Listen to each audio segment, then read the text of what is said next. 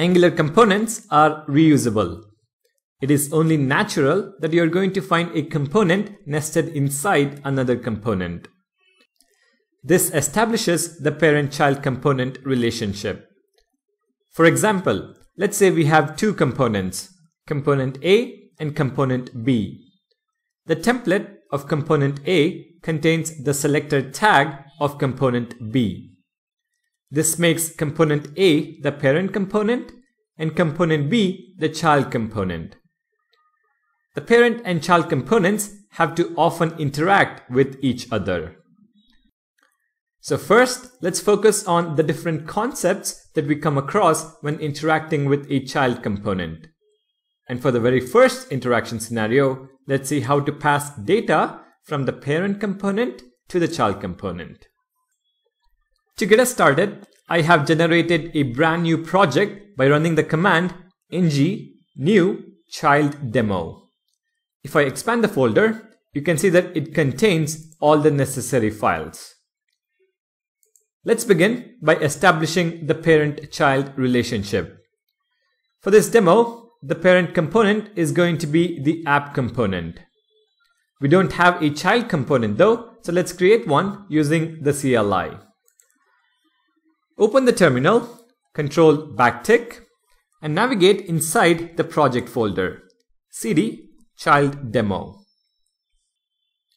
Now run the command ng g for generate, c for component, followed by name of the component which we are going to call as child. Once the command completes, you should now have a child.component.ts file, which is of course the child component that we are going to be working with. Now to make this component as a child of app component, we need to specify the selector in app component template. So open app.component.html, wipe out the prefill HTML, and instead I'm going to add a heading that says parent component. And just below the heading, I'm going to add the selector for the child component. So if you see here, the selector is app-child. So app-child.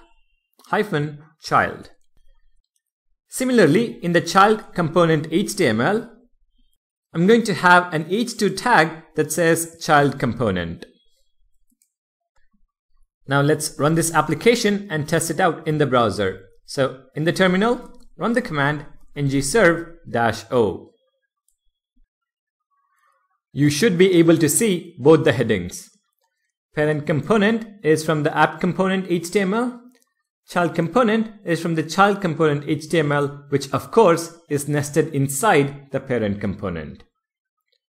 Now let's go back to VS Code and add some HTML in the child component. I'm going to add a paragraph that says welcome back and another paragraph that says please log in.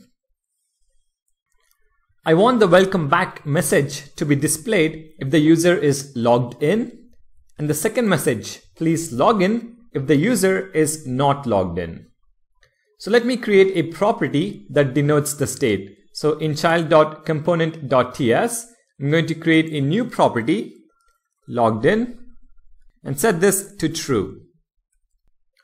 In the HTML, I'm going to add the ngIf directive. So star ngIf is equal to logged in. And for the second paragraph, star ngIf is equal to not of logged in. If we take a look at the browser, you can see the message welcome back. If I flip logged in to false,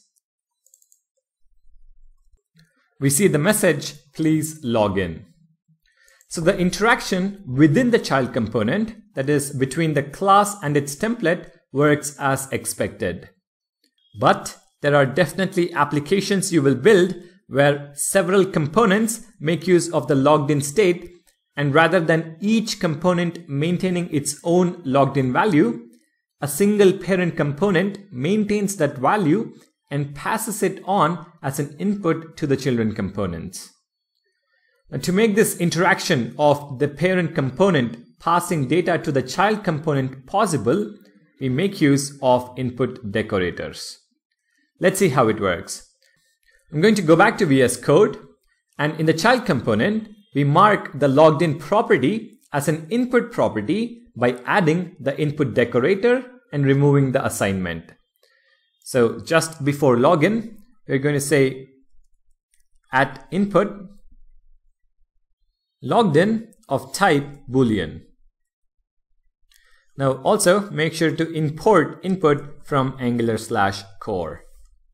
Now that the child component is expecting a value, let's send it from the parent component. So open app.component.ts and over here, let's add the property. This time I'm going to call it user logged in. This is going to be set to true. Next, in the app component HTML, in the opening tag of the child component, we bind to the input property that the child component expects the value of the property in the parent component. So what is the value that the child component expects? Logged in. And what is the value of that property in the parent component? User logged in. So we bind user logged in, which is the value in the parent component, to logged in, which is the value that the child component expects as an input. Square brackets for property binding. Now, if we save this and take a look at the browser, you can see welcome back. So the value user logged in is set to true and passed to the child component as logged in. In the child component, we make use of that input value and render the appropriate HTML. If I change user logged in to false, you should be able to see the message, please log in. So that is how the parent component communicates a value to the child component. Also, if you want to use a different name for the input property within the child component, you can do so by specifying the original value in the input decorator parentheses and then the alias as the property name. So I can change this to within parentheses logged in. So this is the original input name that we specify in the app component HTML. But then we can specify an alias. So I can call this login flag. And then in the child component HTML, change logged in to login flag. So let's save this, go back to the browser, and you should still see the same output. Please log in. Change app component.ts user logged in to true. And it says welcome back. Now in the child component class, you might see a red squiggly error, which is from tslint, which can be ignored for this scenario. Finally, let me also tell you that you can have default values for the input properties. So in the child component class, we can assign a value to the input field. So login flag is equal to, let's say true. And then in the parent component HTML, I can completely remove the binding. So no input value is being passed right now. If I go back to the browser, you can see it says welcome back. I change the default value to false. And it says please log in. So that is about the input decorator, which can be used to pass data from the parent component to the child component.